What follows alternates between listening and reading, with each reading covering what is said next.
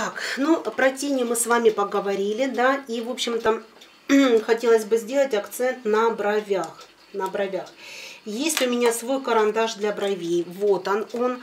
Раньше, э, когда не было вот именно такого серенького, а я ближе девушка к черному, то мне приходилось э, прорисовывать брови либо карандашами для глаз, либо тенями. Здесь у нас свой карандашик, который вот еще позволяет мягко растушевать карандаш, в общем-то причесать брови. Так что у меня это единственный карандаш для бровей, который меня полностью удовлетворяет. А, в отношении карандашей для глаз у меня их масса, масса. Так, сейчас именно поговорим только о карандашах. Есть старые коллекции, очень старенькие коллекции.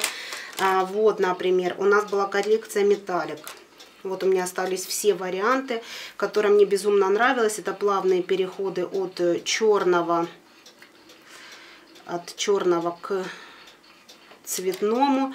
Вот, вот это мой фаворит, это синенький, который мне придает ну, такой невероятно красивый взгляд. Вот, вот еще старая коллекция зеленый. Синий, это я брала уже как бы тематические карандаши, пользуюсь я крайне, ими крайне редко, сразу скажу. А, вот это вот у меня зеленый, тоже такой ходовой показал под зеленый макияж молодежный, да, вот, вот, вот чисто под тени, под вот эти вот я уже говорила, показывала.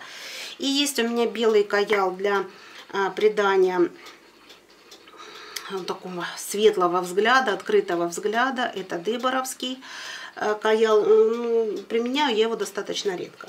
Но самые ходовые карандаши у меня это черные. На самом деле вот эта вот троица, даже вот так правильно сказать, потому что я пользуюсь подводкой, вот это вот эта вот группа, это мой э, ежедневный базовый макияж. То есть ими, когда как, когда на скаку, когда спешу. То есть вот есть у нас черный карандаш с растушевкой.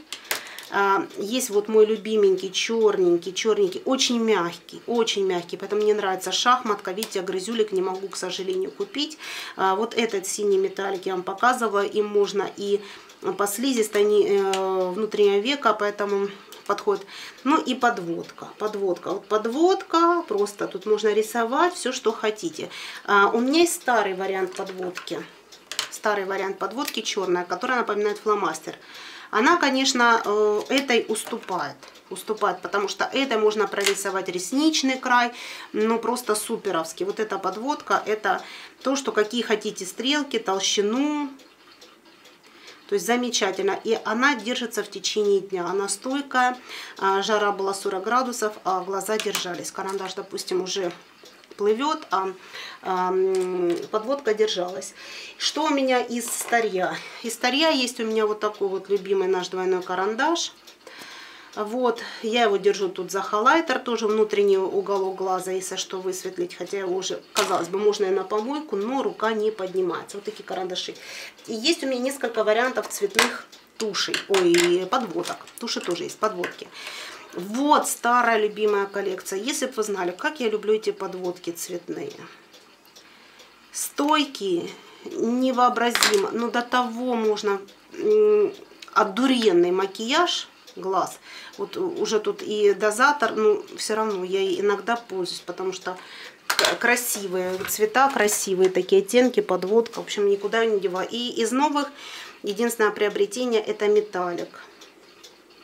Вот, э, опять-таки, баловство. Баловство взяла, но так вот фактически не пользуюсь. Ну и совсем напоследок остались у нас туши. Есть у меня три цветных туши. Это я считаю как летний вариант. А, в принципе, вот начало этого ролика по декору я была в этой зеленой туши. А, конечно, камера не передает, но тем не менее, даже на моих черных ресницах тушь будет вот такого зеленого оттенка. Вот, кстати, видите, я сделала ошибку. Я первый раз бабахнула, не выкрутила тушь, и у меня э, вылезла сама, сама паста, которая прокрашивает. Поэтому тушь вот такого насыщенного, красивого зеленого цвета. Такая она есть. И у меня это летние варианты. Я беру э, очень красиво с карими глазами зеленая синяя тушь. Снова таки скажу, для баловства крайне редко, но тем не менее, даже мои ресницы вот в таком э, ультра, наверное, ультрамарине. Такой красивый, яркий, сочный цвет. Вот, си синяя тушь. Я иногда с вот, с вот этой подводкой применяла. И есть у меня лиловая ночь, но это с прошлого года. В этом году я не обновляла, потому что думаю, все-таки я так и не, нигде не накрашусь. Но вот в фиолетовых оттенках, то есть тоже красивый такой цвет получается. И красивый оттенок на ресницах. Немножко черный поглощает, но на свету оттенки. Ну, а это туши мои самые ходовые, ежедневные. Вот осталась тушь шахматка, она помогает мне проработать иногда внутренние уголки, то есть удлинить. Ресницы у меня на самом деле э, не очень длинные, и э, я в основном пользуюсь тушью, которая удлиняет, вытягиваю их. Но вот эта тушь наша удлиняющая, она помогает и удлинить да, обработать все краешки.